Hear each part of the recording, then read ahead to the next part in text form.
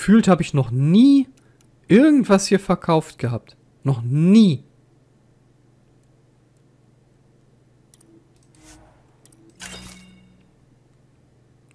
Objektlimit.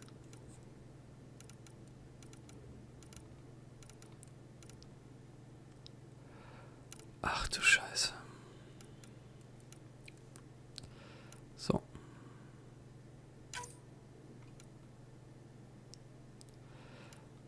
So viel brauchen wir doch gar nicht. Schafft. Wir behalten mal alles, was vier Intus hat.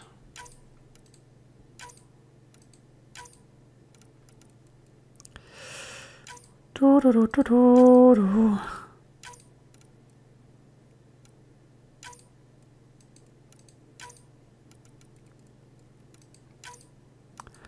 Holy moly. Ich war auch gefühlt das komplette Spiel noch nicht so derbe beim Händler wie jetzt, ne? Und hab einfach nur verkauft. Ich hab das Zeug einfach nur gesammelt.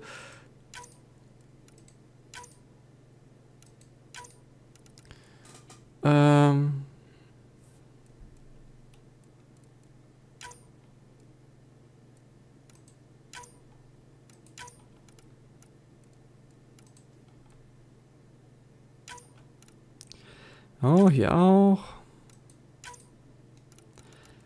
Ja. Also ich würde sagen, das gibt jetzt richtig Asche.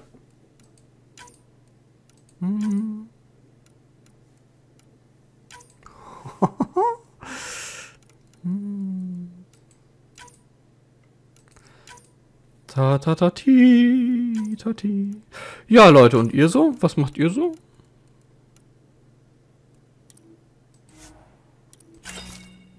So, weg damit.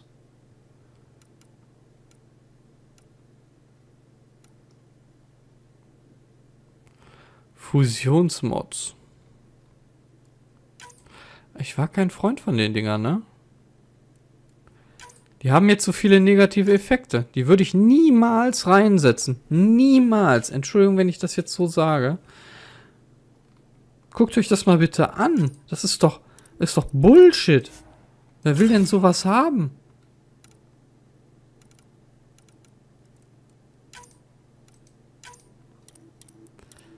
Handel bestätigen. So. Ich hätte da...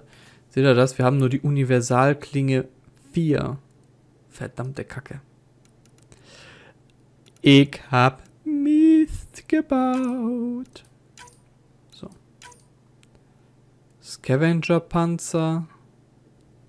Panzerung. Ich glaube nicht, dass ich den anziehe. Nee. Begegnung EP-Bonus.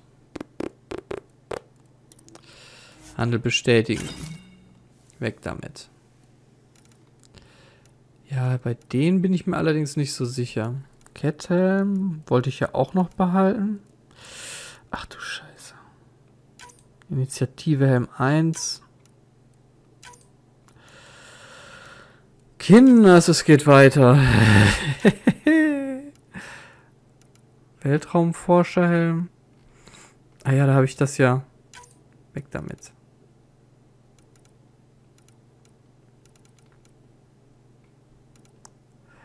Vier finde ich noch akzeptabel, aber alles, was unter vier ist, werde ich verkaufen. Thermomagazin 1, weg. Weg. Da müssen wir gleich noch zu Corporal Dunn. Schubidubidu. Schubidubidu. Ich habe mich ja vorher beschwert, dass wir kein Geld haben, ne? Ich glaube, die Sache hat sich damit eigentlich gerade erledigt. Hm. Was ist das denn? Liams Panzerungsanforderung.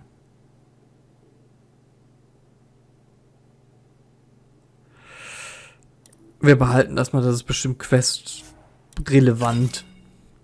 So. Liebe Freunde, wir haben 18.000 Credits. Ich weiß nicht, ob wir uns davon was Schönes kaufen sollen. Wir gucken mal hier. Guten Morgen. Fahrzeughändler. Notfallschildentladung. Monolith um Mitternacht. Nebula. Oh, Nebula sieht ja eigentlich echt hammergeil aus, ne? So. Gemischtwarenhändler. Doppelmod, Biotikverstärker.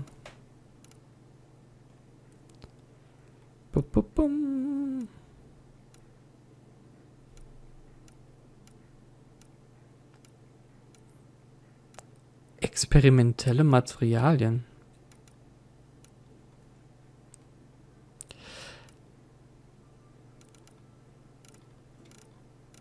Schon ein paar geile Mods, das muss ich sagen. Oder die. Aber wir finden genug unterwegs. Wir haben ja jetzt gerade auch wieder die Universal... Oh, warte mal, hier sind auch haufenweise Quests zum Abgeben, ne? Juhu. Pathfinder Rider. Auf ein Wort bitte. Hallöchen. Ich habe eine unautorisierte Lieferung nach Kedera abgefangen. Wichtiges Material. Essensrationen, Werkzeug, Energiezellen, das volle Programm. Alles korrespondiert mit Diskrepanzen im Inventar. Ja und? Jemand stiehlt und lagert Vorräte auf der Nexus und der Hyperion und beliefert damit die Exzellenten. Wenn Sie die Augen nach verdächtigen oder falsch gelagerten Paketen offen halten könnten, wäre ich Ihnen sehr verbunden. Mal sehen, was ich tun kann. Sehr gut. Gestohlene Vorräte haben keinen Freigabevermerk. Sam sollte sie also identifizieren können.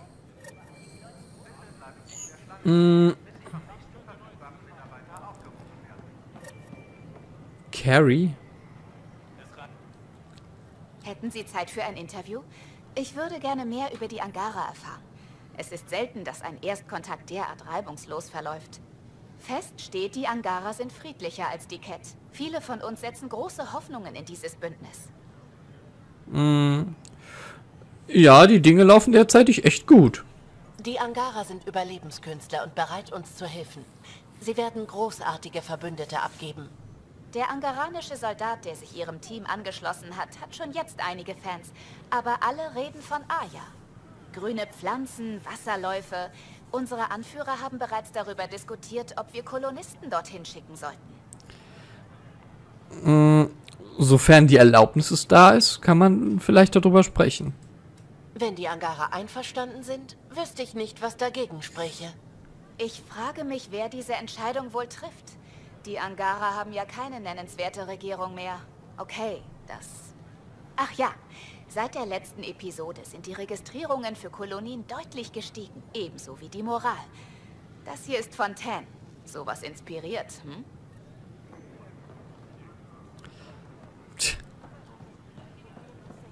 Ja gut, ne? Wir besiedeln halt immer mehr Welten. Das darfst du halt auch nicht vergessen. Sie hatten recht. Hätte ich mein ursprüngliches Vorhaben So.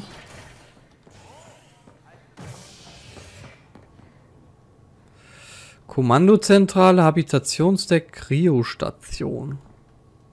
Kommando. Zentrale.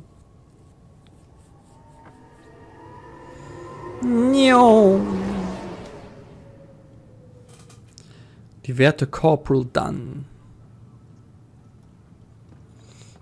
Hm. Schubdidubidu, schubdidubidu. das gesamte Personal. Die diplomatische Abordnung der Angara Pathfinder, kann ich Sie kurz sprechen? Nein, ich bin gerade noch beschäftigt. Nee, das ist Edison. Wo ist denn die dann? Oder ist sie das? Nee, ne? Doch. Pathfinder? Nein, ist sie nicht. Direktor Edison. Pathfinder? Sie ist es nicht. So, nicht anders. Beunruhigter Bürger. Programm für die angaranische Was gibt's? Sie stellen sich da draußen den Cat. Wir hören hier nur Gerüchte, dass sie Monster sind. Vielleicht verstehen sie uns bloß nicht. Glauben Sie, dass Frieden mit ihnen jemals möglich sein wird? Mm. So wie die drauf sind? Mm.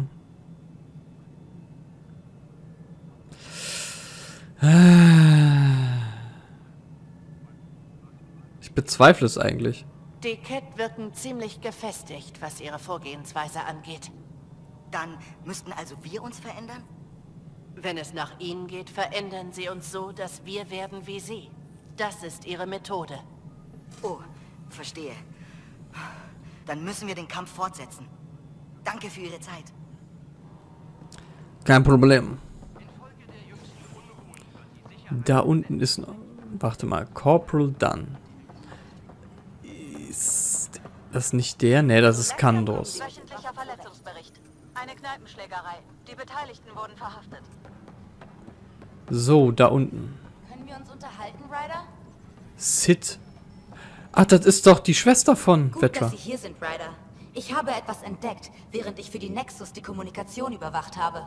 Es gab mehrere Angriffe irgendwelcher Leute, die die drei Säbel genannt werden. Sie greifen Außenposten und Versorgungsschiffe an. Das wirklich Beunruhigende ist aber, dass sie offenbar über unsere Operation Bescheid wissen. Als würde sie jemand mit Informationen versorgen. Also ein Spion. Soll das heißen, sie haben einen Insider? Vielleicht. Und das wäre ziemlich übel, oder? Ich habe es gemeldet und sie sagen auch, sie würden dem nachgehen. Doch dann vergessen sie es wieder. Aber sie sind der Pathfinder. Wenn jemand die Nexus verrät, müssen sie etwas dagegen unternehmen. Du. Kein Problem, meine Liebe. Ich guck danach. Du hast recht. Wenn diese Leute wirklich von unseren Operationen wissen, wäre das ein ernstes Problem. Ich sollte dem nachgehen. Danke.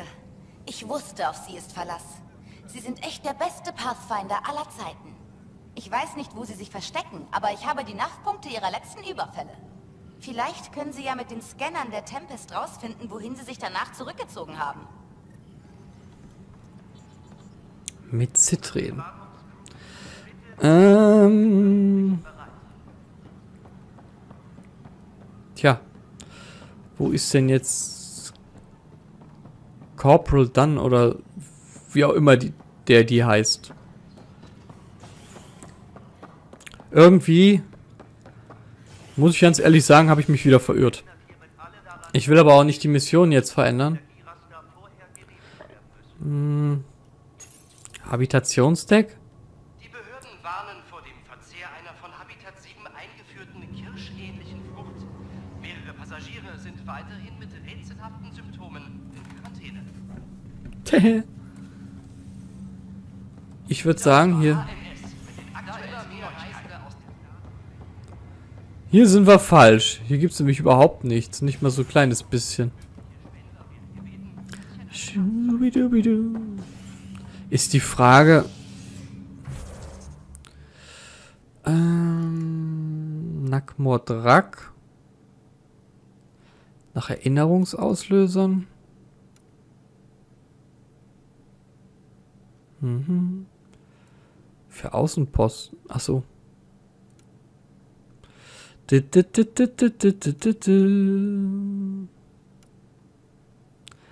Auf der Tempest mit Sam sprechen.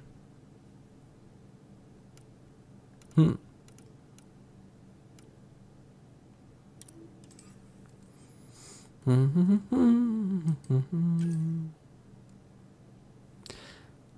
Äh, neue Welt, Kroganer, Jagd auf den Archon. Helios Aufgaben. Ne, halt, das waren die zusätzliche Aufgaben. Ermittlung.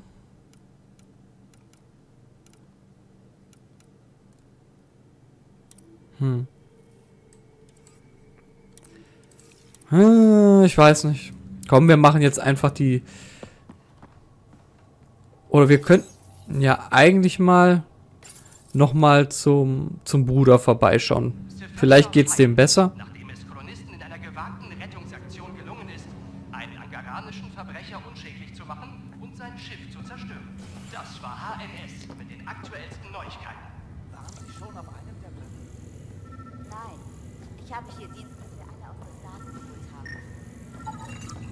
Gestohlene Vorräte. Ich werde den Dockverwalter informieren. Gestohlene Vorräte. Das ist nicht gut. Hä? Was ist das? Informationsdisplay. Hä?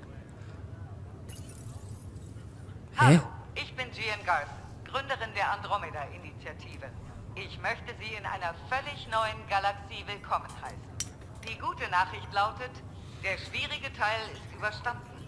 Wir sind angekommen. Falls Sie Fragen haben, nur raus damit.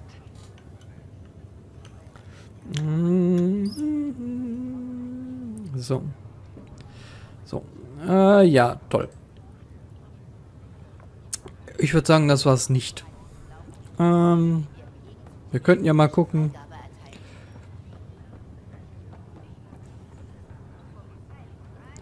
Dr. Carroll. Ryder, das war Wahnsinn, wie Sie mit Ihrem Bruder im Koma gesprochen haben. Ich habe das alles mit dem Sam-Implantat nie wirklich geglaubt, aber das war wirklich erstaunlich. Es war seltsam. Ich weiß nicht. Das war alles sehr merkwürdig. Ich weiß, was Sie meinen, aber am Anfang wirkt alles merkwürdig. Vor langer Zeit haben meine Kollegen auch mal Bakterien für eine verrückte Idee gehalten. Man muss sich nur daran gewöhnen. Und wenn es meinen Patienten hilft, bin ich völlig unvoreingenommen. Wie geht's ihm? Wie geht es, Scott? Nun, der Tod Ihres Vaters und die Pleite mit dem neuen Zuhause, das nimmt einen ziemlich mit. Ich glaube aber nicht, dass bleibende Schäden zu befürchten sind.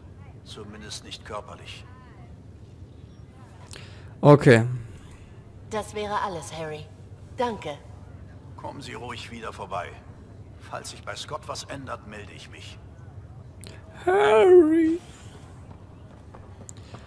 Der liebe Harry.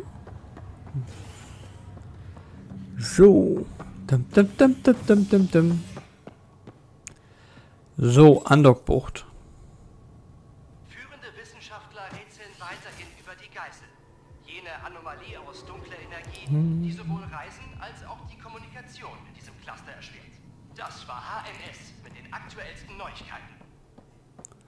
HNS. Ding, ding.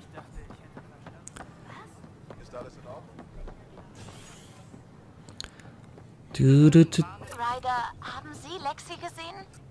Ist sie etwa nicht auf der Krankenstation? Nein, und sie reagiert auch nicht auf meine Com-Nachrichten. Ach Mann, ey. Warte mal. Lexi.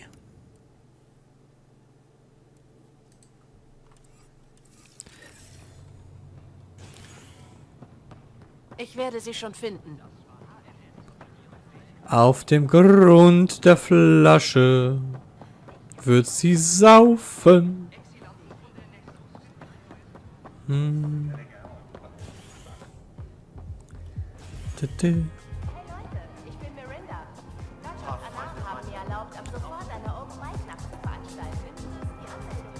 Anante Mari? Interessant. Danke, Pathfinder.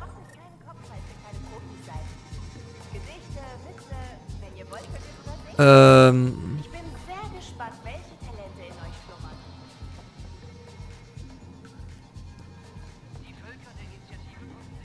schlummern. äh, Momente mal.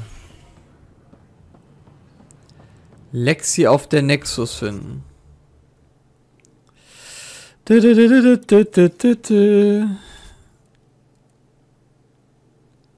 Äh.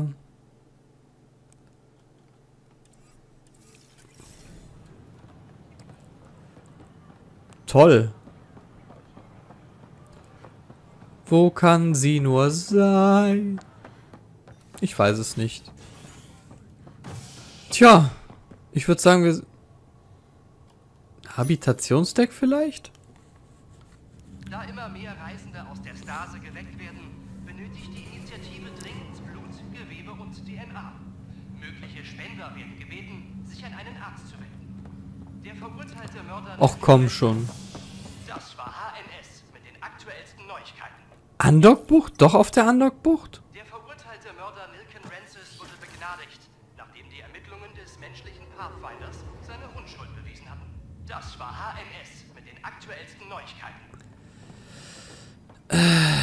Ja, Unschuld in Klammern. Ja. Der wollte ihn schon abschie